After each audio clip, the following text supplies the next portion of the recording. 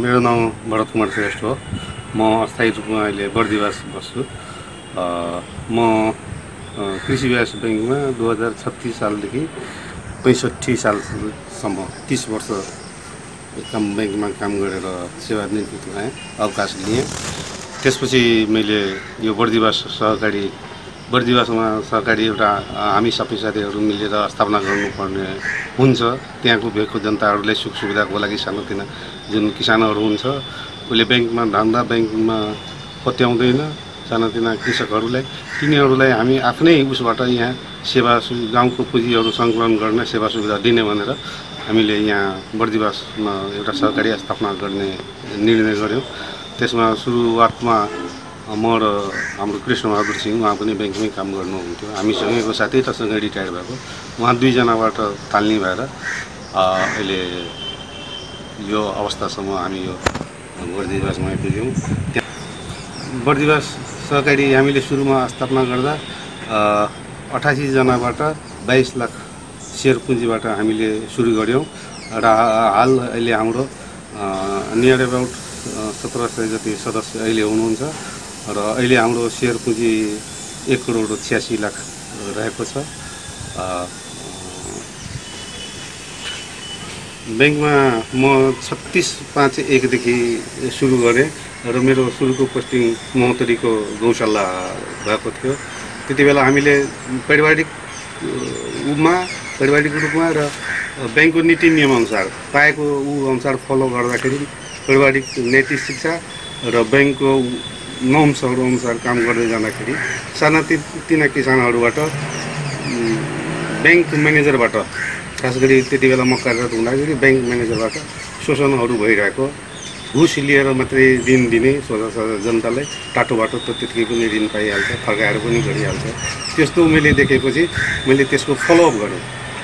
त्यसमा हामी म मात्रै होइन त्यहाँ रहेको सम्पूर्ण टिम तल्लो लेभलदेखि म्यानेजर बाहेक सबैजना हामी लागि पऱ्यौँ। कहाँ कहाँ ऋण प्रदान भएछ कहाँ कहाँ के त्यो वास्तविक हो होइन भनेर फलो गर्दा गर्दा किसानहरू डराए। उनीहरूलाई हामीले हौसला अ, लाग्ने खर्चहरू सबै हामी बेहोर्छौँ तपाईँ फसाउने पनि होइन र झुटो पनि बोल्ने होइन। लिएको हो भने लिएको भन्नुहोस् लिएको छैन भने लिएको छैन भन्दाखेरि फलो गर्दा गर्दा अडतिस अडतिस लास्टमा हामीले सफलता पायौँ।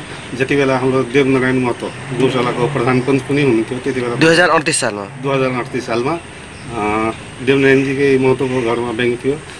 उहाँलाई पनि मैले सँग हामीले कन्भिन्स गरेर लु साथ सहयोग दिनु पऱ्यो हामी यस्तो अभियानमा लागेका छौँ। यो अभियानमा सबैले साथ दिनुपर्छ भनेर राख्दाखेरि हुन्छ भनेर भन्नुभयो। किसानहरू कहाँ पनि पुग्यो। उहाँहरूले पनि ल लास्टमा ओके भयो। त्यसमा हामीले पाँचजना त्यति बेला लिन त धेरैसँग लिएको थियो होला।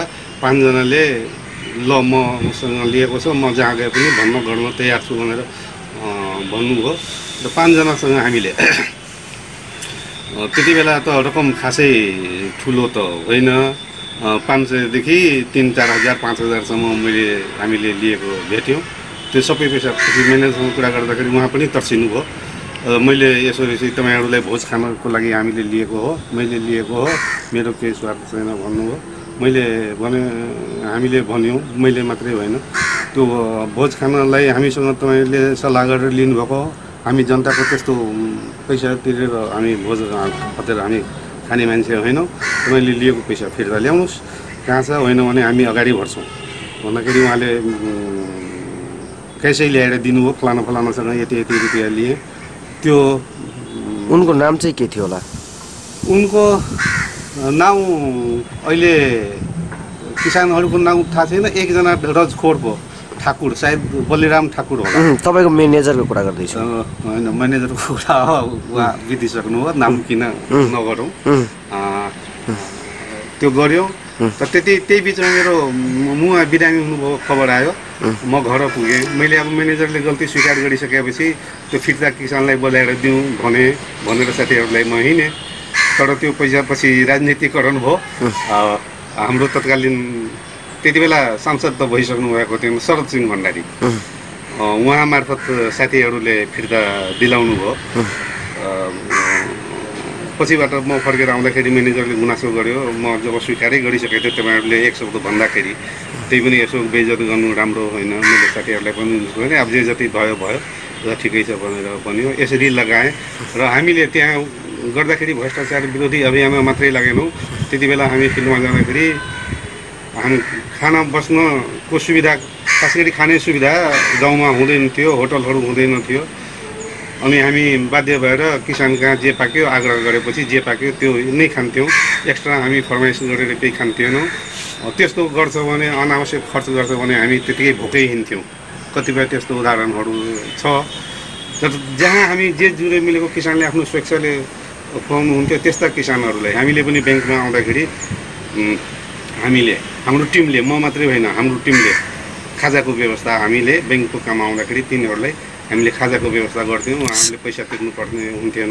मित्रता गाँच्नुहुन्थ्यो किसानसँग गाँच्नु- गाँच्थ्यौँ र यतिसम्म हुन्थ्यो कि अब अरू साथीको अब नभनौँ म जहाँ जहाँ बसेँ त्यहाँ त्यहाँ मैले एउटा माहौलै क्रिएट गरेँ।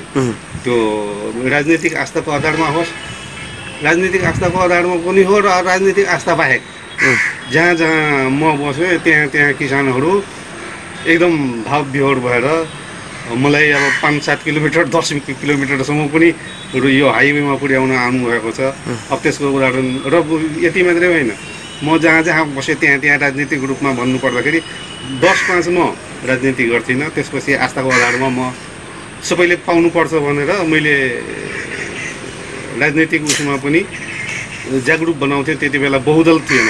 बहुदलभन्दा पहिलेको कुरा भन्छु।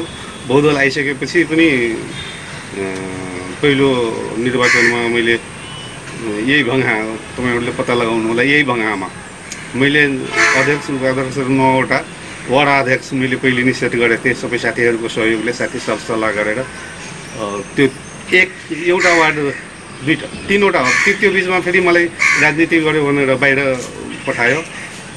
त्यही पनि म बाहिर गएको अवस्थामा पनि पहिलो निर्वाचन बहुदलीय छ्यालिस सालको आइसकेपछि पहिलो उसमा। अ, सातजना वडा अध्यक्ष र अध्यक्ष जित्नुभएको थियो। तपाईँ भ्रष्टाचार विरोधी अभियानमा लागिरहँदाखेरि तपाईँको जिन्दगीमा के उपलब्धि भयो? छोटोमा भनिदिनुहोस् न। मैले जिन्दगीमा उपलब्धिमा म आत्मसन्तुष्टि पाएँ। जुन सोझा सोझा जनताहरू छन् त्यो त्यो अनावश्यक रूपमा पिल्सिरहेको छन् तिनीहरूलाई न्याय दिलाउन खोजेँ। मैले आत्मसन्तुष्टि पाएँ। यति नै हो। यो यति नै हो। र त्यो अभियानमा लागिरहँदा जस्तो हाम्रो सिंहजी पहिले हाम्रो यो बर्दिवास बचत ऋण सहकारीको अध्यक्ष हुनुहुन्थ्यो। अहिले नेपाल जिल्ला बचत सङ्घको अहिले अध्यक्ष हुनुहुन्छ। उहाँ हामी सबै मिलेर भ्रष्टाचार विरोधी अभियानका साथीहरू अन्य साथीहरू पनि हुनुहुन्छ। कतिपय यति यसैले हामीले बर्दिवास बचतले हामीले यो बर्दिवास बचत तथा ऋण सहकारी संस्था बर्दिवासमा खोलेको छौँ।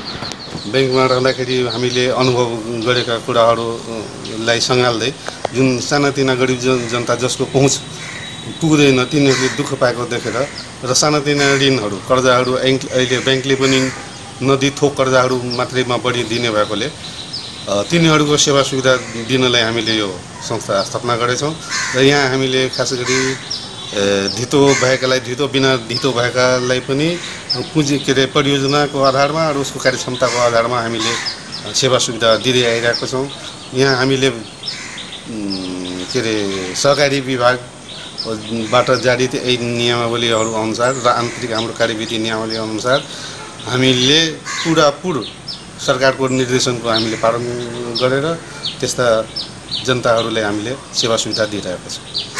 अनि अहिले जुन बर्दिवासमा यस क्षेत्रमा देशमै ब्याङ्कहरू त च्याउ जस्तै उम्रिएका छन् सहकारी पनि च्याउ जस्तै उम्रिएका छन् यस बिचमा कतिपय मान्छेहरूले चाहिँ सहकारीमा बचत गर्नु भन्छन् कहिले ब्याङ्कमा बचत गर्नुपर्छ। साँच्चीकै सहकारी या ब्याङ्कले सुलभ रूपमा चाहिँ ऋण दिइराखेको अवस्था छ। ब्याङ्कको कुरा गर्नु पर्दाखेरि ब्याङ्कले गर्नुपर्दाखेरि ठुला ठुला पहुँ- पहुँचवालाहरूलाई चाँडै ऋण पाउँछ। सानातिनाहरूले पाउन अलि गाह्रो हुन्छ। त्यसै त्यसै उहाँले ती व्यक्तिहरू जसको पहुँच ब्याङ्कमा हुँदैन। सानातिना कृषक अथवा ऊहरू ब्याङ्क ब्याङ्कमा होइन साना किसान के अरे हाम्रो सहकारीमै जम्मा गर्नुपर्छ। तर सहकारीमा जम्मा आफूले रकम जम निक्षेप रकम जम्मा गर्दाखेरि सहकारी रोज्नु पर्ने हुन्छ। सहकारीको सञ्चालकहरू कस्तो छ यसको ब्याकग्राउन्डहरू कस्तो छ भोलि यहाँ हामीले राख्दाखेरि हाम्रो पुँजी डुब्ने हो होइन। पुरा यकिन गरेर जहाँ जुन सहकारीमा विश्वास हुन्छ त्यो सहकारीमा मात्रै जम्मा गर्नुपर्छ। र रह्यो यो ब्याङ्कमा जम्मा गर्ने कि पैसा सहकारीमा गर्ने सहकारीमै गर्नुपर्छ किनभने ब्याङ्कले सानातिना किसानले पहुँच हुँदैन। उसले आफ्नो बोनस उसले आफ्नो साधारण सभामा उसको दुःख सुखमा त्यहाँ बोलाउँदैन गर्दैन तर सहकारीले हरेक सुख दुःखमा उसको घर दैलोमै सेवा दिन्छ। केही गाह्रो साह्रो पर्दाखेरि घरमै गएर समस्या समाधान गर्ने कोसिस गर्छ। त्यसैले सानोतिनो पुँजीहरू आफ्नो यो भेगमा रहेका सानातिना किसानहरू खास गरी आफ्नो निक्षेप सहकारीमै जम्मा गर्नुपर्छ र सहकारीबाटै ऋण लिनुपर्छ जसले गर्दा अनावश्यक झै झमेला झन्झट अनावश्यक खर्च पैसा खर्चहरू हुँदैन बिचमा बिचौलियाहरूले पैसा लिँदैन। त्यसैले मेरो अनुरोध छ सबै यो भेगका साना कर्जाग्राहीहरू खास गरी सहकारीबाटै कर्जा लिनुहोस् सहकारीमै निक्षेप जम्मा गर्नुहोस् आफ्नै पुँजी हो आफ्नै गाउँठाउँको पुँजी आफ्नै गाउँठाउँको विकासको लागि लगाउनुहोस्। म यही सबैलाई अनुरोध गर्न चाहन्छु।